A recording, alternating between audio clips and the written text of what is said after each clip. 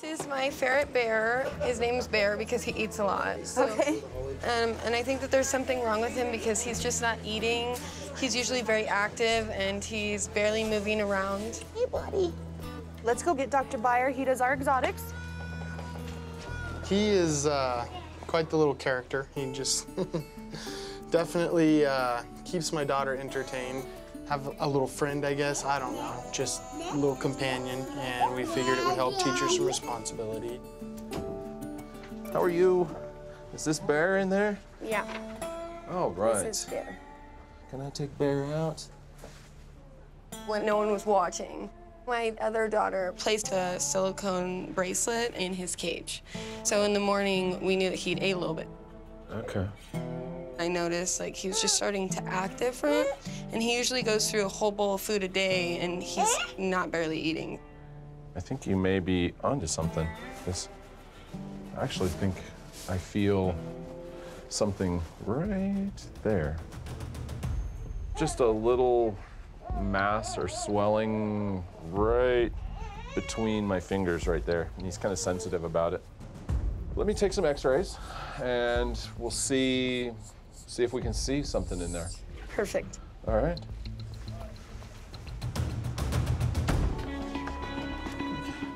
All right. At this point, I don't see anything obvious. What I'd like to do to start with is start off with medical management, um, get him on fluids, antibiotics, um, some pain meds, and see if he can pass it on his own. Then if that doesn't work, then what? If that doesn't work, then then we'd go to surgery, open him up, and and take take the little piece of something out. If we do surgery, we'll do keep him for three to five days, because that's the period that any complications might arise. If you can part with him for that long. He's actually my daughter's. If he's okay in the end, that's what matters. Okay, well, we'll do everything we can to get him back to you. All right, Bear, in you go. We just, we need him to be back healthy.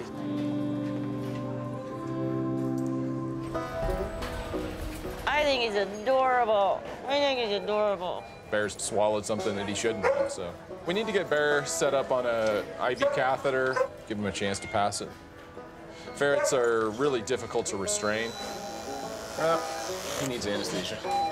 We're gonna anesthetize him so that we can get it done quickly and get it done right. I've always wanted a ferret, but they're stinky. Ferrets are very smelly. They, um, they have two main scent glands that are removed at the breeder before they go out to pet stores. But 85% of their scent glands are on their skin, so ferrets smell musky. They are mustelids. Hence the stinkiness.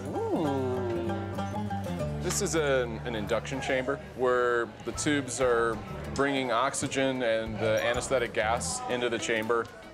He's getting sleepy. Probably ready for this.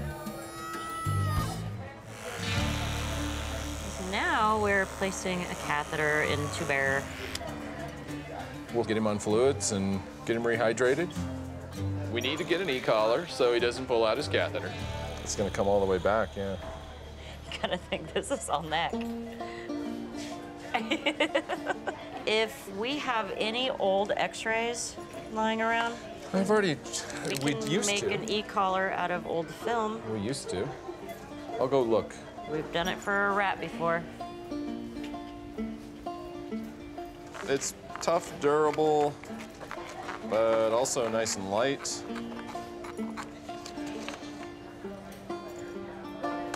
Right now, he's doing well. He's not vomiting. He's pretty stable, so you know it's not. There's no rush to cut him open. Give him, give him a chance to pass it. Oh, come here. Hi. How's he doing? He's doing very, very well. We are just giving him his morning treatments. We're starting his fluids, his bolus, giving him some food and water. He is very lively this morning. He did have stool in his litter box this morning, but I did not see anything in it. All right. He's been pooping normally. He's been eating normally, acting normal for the last 24 hours. The little mass that I could feel in his abdomen has moved down. It seems to be in the colon now. Things seem to be moving through. He's acting really perky, so I don't see any reason to keep him here longer. It's time to go home. Hello. Hi there, how are y'all today? Good. We're here to pick up Bear. Okay. I'll get Dr. Baier for you. You excited? Sit down, baby girl. She's already gone through enough loss in the last two years. We lost uh, my dad, um, who actually lived with us. So I didn't want her to have to lose her animal. Howdy, guys. Hello. How are things today? Good. Good. Well, here he is. Oh my He's God. been eating a ton. Perfect. You want Bye. to hold your ferret? Yes, please. All Sit down, okay? So you could feel where the, the foreign body was up until Friday morning. And Thursday night, he um, had a big poo, and whatever was causing the obstruction has moved down into the colon. He should pass that into in the next 24 hours. But if he's not eating, not drinking, not acting himself, just bring him back in. Yeah, he's so active compared to when we brought him in. Thank you for fixing my ferret. No problem. It was my pleasure. All right, little dude skis, we have reached our destination in the back. They have names. We're going with the Aristocats theme. One of my favorite animated cat films. Oh, look it. It's my boy. They're doubled in size, they're active, and now they're ready to go to the next phase, which is spay neuter, uh, vaccination, and microchip. Which ones are we doing first, the males or females? These are three males. Starting with the black one. Berlioz, the beast. Uh-huh. Smooth. Making sure the tunic's in there and spray this. All right, one done, two go. This one is Thomas. Okay, we got him on gas.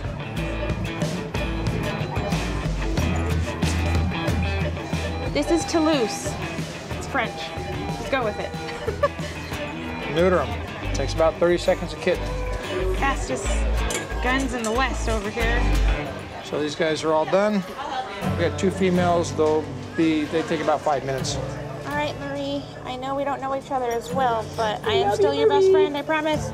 Bottom line is there's too many cats in the world. They have 45 kittens for every one human that can be born. They're most likely to be thrown outside. They're most likely to be abused. Almost ready. In the end, I really do believe you want to stop pain and suffering. Spay neuter until animals become less, uh, how should I say, disposable. She gets spayed today, adopt her tomorrow.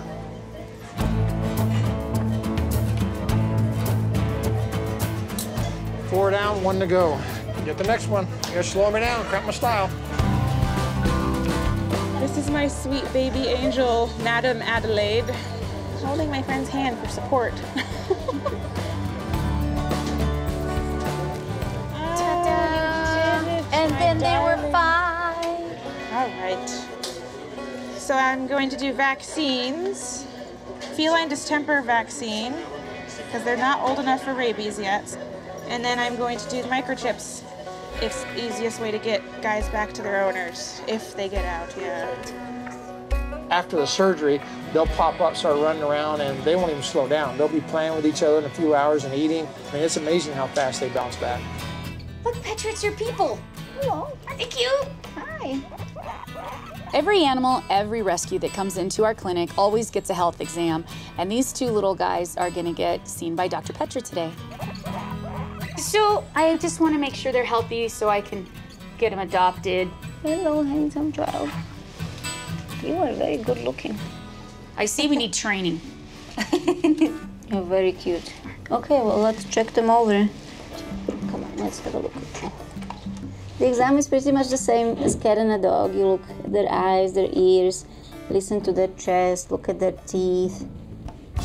If they are drooling, if they are not eating correctly, if the food is falling out of their mouth or they keep pawing at the mouth, anything to do with the mouth, you should have them checked by a vet because their teeth can become overgrown and that could be a real issue for them. It could get to the point where it's so painful for them they will not eat. And for guinea pigs, because they are herbivores, they have to eat all the time. They cannot make their own vitamin C, and it is very, very crucial that the food contains not only the vitamin C but all of the other nutrients that are so important for them. So they have a lot of food requirements.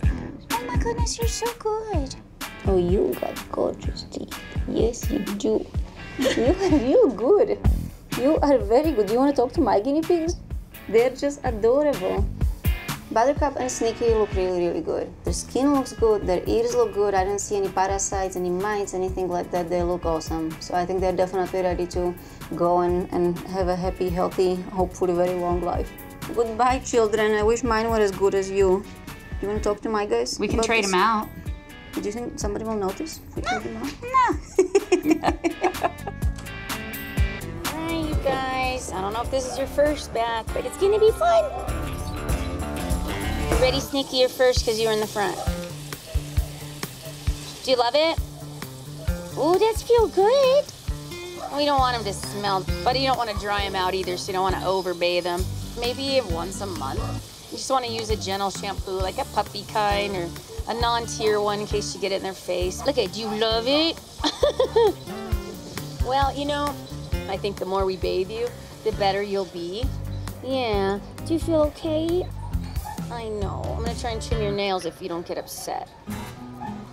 My guess is these have never been trimmed, and a lot of people just don't know how. They have a quick just like a cat or a dog does. The quick's right here, and it's pink, so they should be cut down so they're not standing just on their nails instead of their feet. Yeah, you are. Okay. You look like a porcupine. Let's see. All right, Snicky, you're good for now. All right, Buttercup, it's your turn. I'll go fast, okay? Oh, yeesh. There you go. I feel better when I take a shower, so why shouldn't they?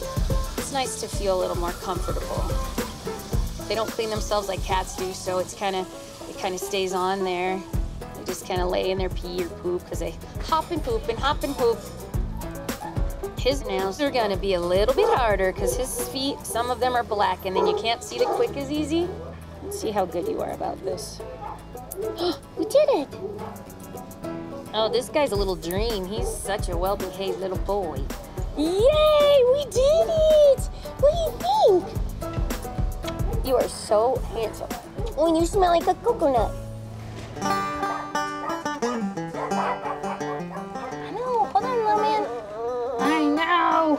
I know. You can do it. Quit tripping over the ball. Good job. Bear is doing really good. He's eating, he's drinking. Me look.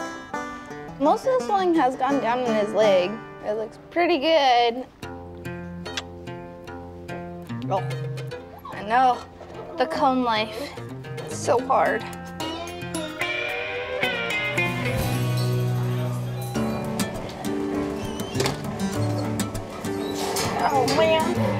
Man, let's get out of here. Cutest thing. We just want to get Bear and you know, pet, and then we're going out to, to go home. Yep, we're getting Bear, we're going home. Can't handle all this cuteness. Got him. Careful, watch out right here, puppy. He's got stitches. Look, you're all shaved down. He's all shaved. He looks funny. Uh, oh, my Yeah, definitely a lot better than it was. Still, Oh, yeah. still a little swollen. I just think it's going to take a while to go down. It's not hard. It's not painful like it was. Uh, it'll be sent home uh, with an antibiotic. Come here, Bear. No. Um, I know you have his litter mates and the mom. You know, Yes. I'm willing to, to fix them all for free. You want to bring them in? Just set up a time. All right. Thank you very Thanks. much. Thanks. No problem. He is a loud one. He's definitely feeling better because he barks all the time now. He wants food. So, Shake. Thank you. My board. Thank you very much, Jeff. One, two, and three stitches. Yep, he's got some stitches. We gotta keep an eye on him. O'Neill, Then what happened if Oh, he Mr. rolls Bear. over? He's okay.